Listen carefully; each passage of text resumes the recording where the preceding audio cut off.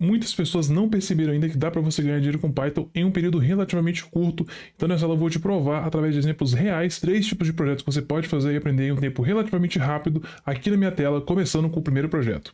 Então nós vamos falar sobre quais são esses três projetos, onde você pode captar esses clientes, qual é o projeto, o tempo de aprendizado para cada um, quais tecnologias serão utilizadas para realizar esse projeto e qual é o potencial de ganho com aquele tipo de projeto específico. Lembrando que eu vou deixar três links aqui na descrição. O primeiro é para minha página de orçamentos. Caso precise de um sistema ou automação, você pode solicitar para minha equipe que nós iremos te enviar um orçamento. 2. O material de apoio utilizado nessa aula eu vou deixar aqui no link na descrição. E 3. Se você quer aprender Python do zero e ser capaz de ganhar dinheiro com isso, eu vou deixar aqui o meu treinamento Mestre Pythonista no terceiro link para você conhecer. Basta clicar ali, beleza? Estamos aqui, vamos continuar essa aula.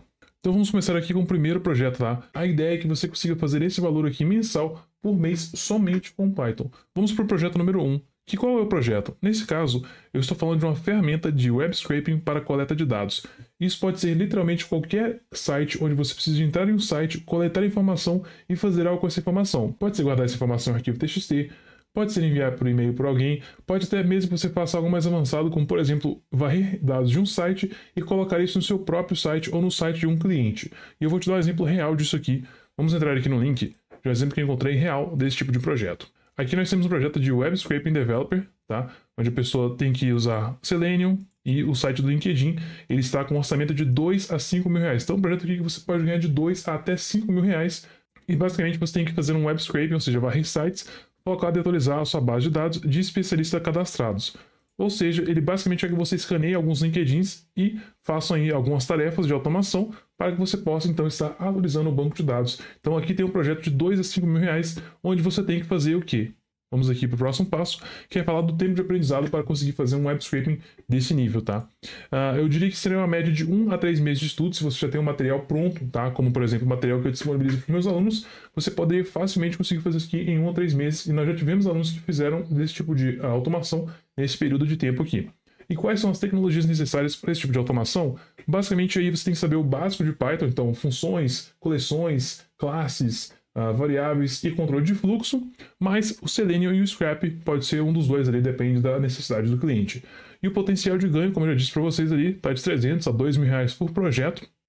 E você pode também cobrar uma recorrência, como esse tipo de projeto é o tipo de projeto que as pessoas costumam fazer várias vezes ou ter que estar constantemente atualizando, eu recomendo que você faça um contrato de recorrência, ou seja, uma assinatura mensal onde a pessoa paga um valor e caso precise fazer alguma atualização, você vai lá, faz a atualização e continua ganhando por isso mensalmente. Então, se você levar em consideração esses dois valores, nós temos uma média aí de R$ 1.225 por projeto, tá? Essa é a média. Se você pegar aí o valor mínimo, o valor máximo, mais o valor de recorrência, nós temos uma média de R$ 1.225 por projeto. Se você chegou até aqui, digita P1 nos comentários e não precisa comentar mais nada. Então, só isso aqui já matou o nosso objetivo do vídeo aqui, que foi esse primeiro projeto. Só que eu tenho mais dois aqui para você. Vamos falar agora do projeto número 2. Qual que é o projeto em si?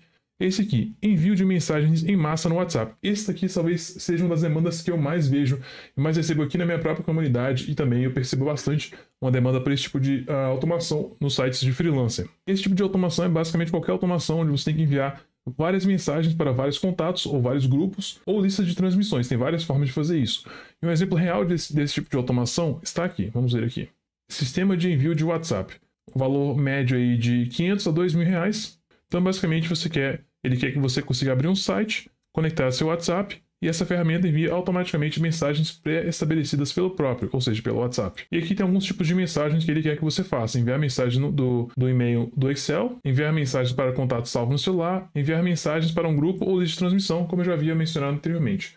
Então, para esse tipo de automação, que vai de 500 a 2 mil reais, a qual é o tempo de aprendizado? Também é a média de 1 a 2 meses. Se você tem um material focado nisso, você consegue aprender bem rapidamente. As tecnologias são básicas de Python, Selenium ou PyAutoGUI e APIs, caso você tenha uma API disponível para fazer esse tipo de envio também. E o potencial de ganho vai na média de 300 a 2 mil reais por projeto. Nós temos aí uma média que eu cobraria também de recorrência de 150 reais para que você possa atualizar caso necessário e também ganhe o valor mensal aí que se você tem vários clientes, você vai aumentando a sua recorrência mensal. E você tem uma média aí também nessa faixa de R$ 1.225 por projeto, tá? Essa é a média por projeto, dependendo, claro, da complexidade desse projeto. Se você não vê a hora de conseguir ganhar sua primeira recorrência, digita aqui embaixo recorrência nos comentários. Então vamos aqui finalizar com o terceiro projeto, que é o seguinte, vamos ver aqui. O terceiro projeto é automação de tarefas de escritório. Isso aqui, pessoal, na verdade engloba tantas coisas que não daria para colocar todas aqui, mas eu estou falando de automação de planilhas, automação de manipulação de pastas, leitura, movimentação de arquivos de um lugar para o outro, criação de arquivos Word, envio de e-mails, é, automação de limpeza de planilhas, preenchimento de planilhas, automatizar processos de sistemas, por exemplo, cadastrar informações de forma automatizada em sistemas. Já tive aluno aqui, inclusive o Diego, ele fez isso, ele conseguiu automatizar a admissão de funcionários e com uma automação ele fez uma automação em um dia, no, no, mesmo dia ele postou essa automação no Instagram e no dia seguinte o chefe dele chamou ele para a sala dele para conversar, falando que ele ia receber um aumento de mil reais se ele não postasse mais nada sobre aquele tipo de automação, porque aquela automação literalmente economizava muito tempo. Eles acabaram mandando ele para o setor de TI, porque literalmente fazia mais do que o próprio TI daquela empresa. Então, olha aí que legal, uma automação que ele conseguiu um aumento de mil reais. Mas mesmo assim, pessoal, eu quero mostrar para vocês um exemplo real, tá? Eu vou mostrar para vocês aqui dois exemplos, na verdade, de automação de tarefas de escritório. A primeira aqui é gerar planilha a partir de simples pesquisa no Google. Então, basicamente, você vai fazer uma pesquisa no Google Maps, certo? E você precisa do tipo de comércio e da cidade que ele vai fornecer. E aí, basicamente, você vai fazer o quê? Você vai uh, pesquisar uma informação, certo? E monte uma planilha do Excel contendo essas informações: nome do comércio, endereço e telefone de contato.